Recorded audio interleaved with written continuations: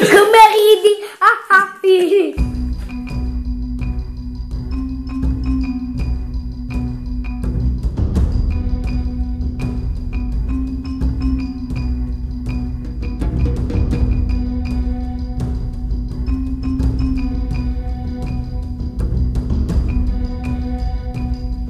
Questa è la pentola a pressione che abbiamo usato per sterilizzare le piastre vetri e il terreno di cultura.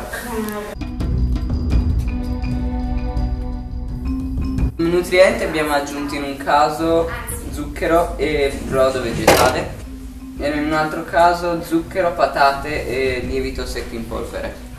L'agar è un polisaccaride usato come gelificante naturale.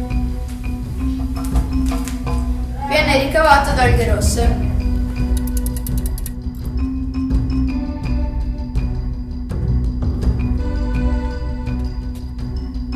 Questi sono i due terreni di cultura pronti per essere utilizzati.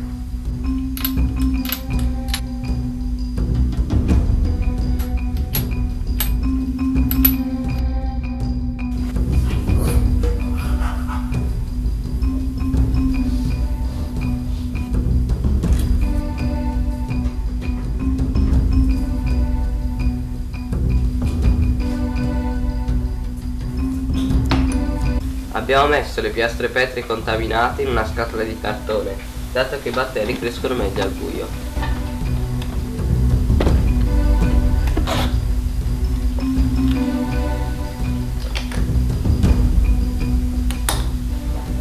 Questo è il risultato dopo circa una settimana.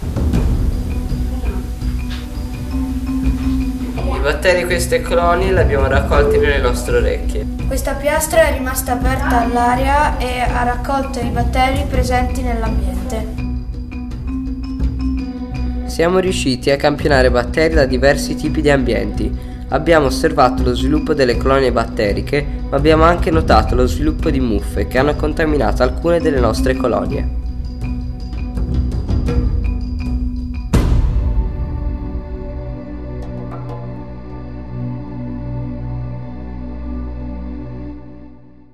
Alghe naturali, no.